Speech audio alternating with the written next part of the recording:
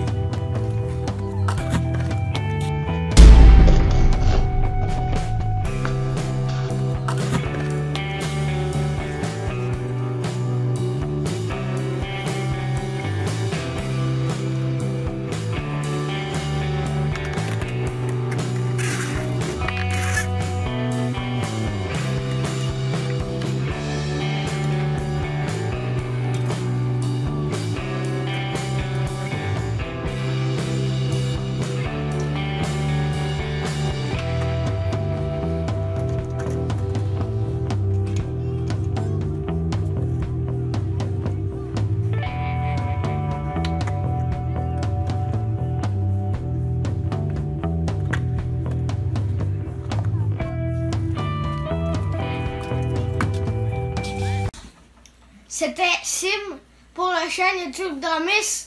Ciao